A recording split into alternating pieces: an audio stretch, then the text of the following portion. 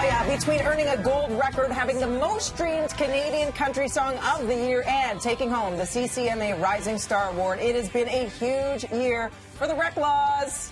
And to cap it, to cap it, Yeah. this Sunday the brother sister duo will play the Grey Cup kickoff show before they head to Alberta. Though Jenna and Stuart Walker are kind enough to join us here on Good BT. morning. Thank you very much for coming in. Guys, Thanks for having us. Congratulations on This is everything. the this is the cap for the years being on BT this, This- one. Yeah, It's- that's, That's what I thought. okay, can we please talk about how this all came to be in terms of building the momentum towards Sunday's game? crazy. I mean, we put out a single in I think Feb- June. February. February. 16th. Jeez, February. Close, June, Close. February. I mean, off a couple.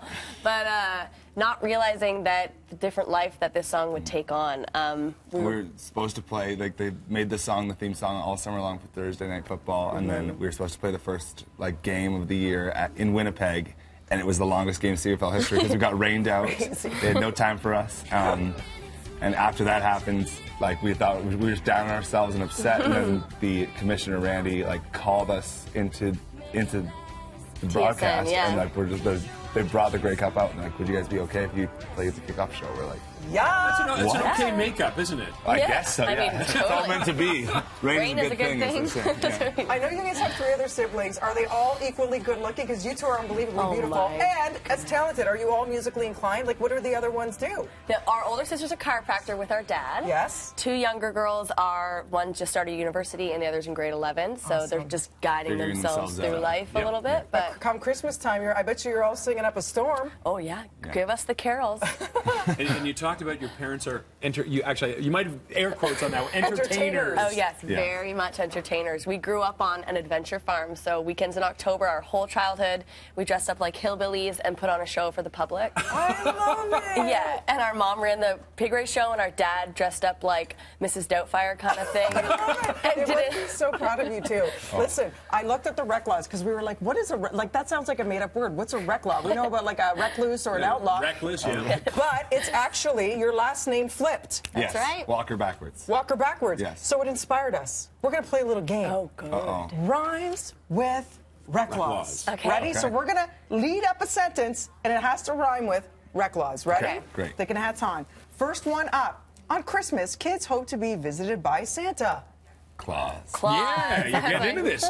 Dorothy and Toto met the Wizard of.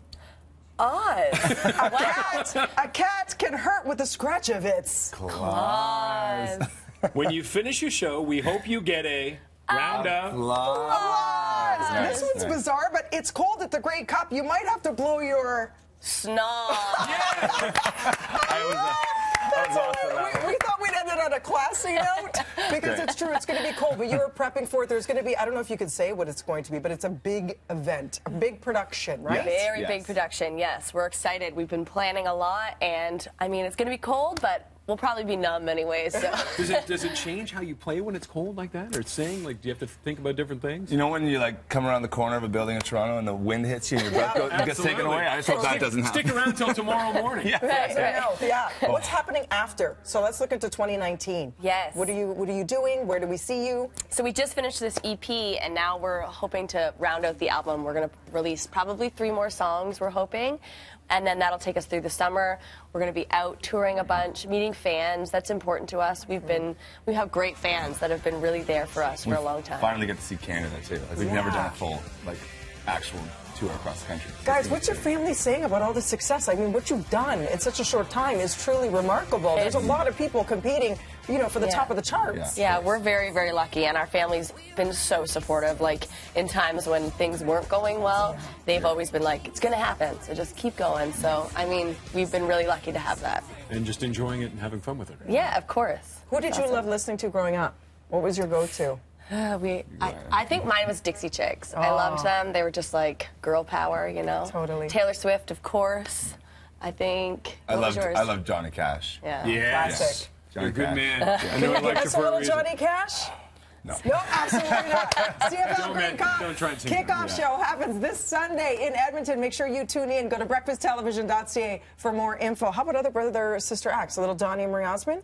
Mom and dad are like, our "You parents need to bought us DVDs. Like, just study them. I had, I had the Barbie dolls. They were on the show and they were totally creeped out because I used to make them kiss. I didn't know they were brother and sister. Oh my gosh. Keep talking, keep chatting. We got to go to break. We're on BT and I after the told them that too. It was very awkward.